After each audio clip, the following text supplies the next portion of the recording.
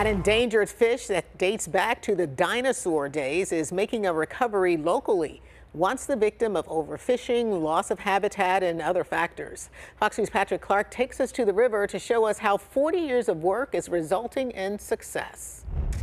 We are making our way along the shore off Maple Island in West Alton, just below the Melvin Price Locks and Dam. Volunteers confirmed Monday, April 21st, the first spawning activity of 2025 of lake sturgeon. We've implanted transmitters like these into some of the fish. They're um, telemetry tags.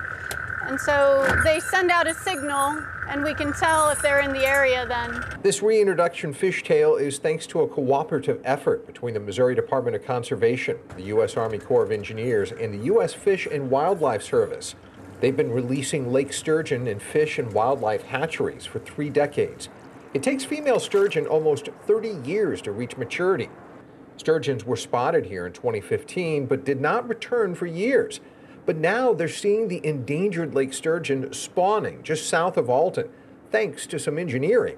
Staying with inside of our water control policy and plans. We're able to manipulate gates 8 and 9, which are the two gates closest to the Missouri bank, by increasing the flow out of those and reducing the flow out of the other gates, we're able to stay within inside of our boundary, but also increase the, increase the velocity along the bank, which is what sturgeon need. They need uh, flow, uh, cobbly surface, and water temperatures. Thursday afternoon, that beeping sound that's registering tells the crew that there is a sturgeon in this part of the Mississippi River.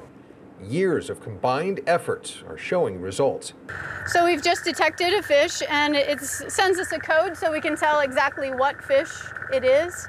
This one has a code of 44190. And I just happen to know, because we've heard this one before, that it is a lake sturgeon. It's a lake sturgeon that was tagged by the U.S. Fish and Wildlife Service um, a couple pools upstream from here, up by Lock and Dam 22. And that's music to the ears of these biologists.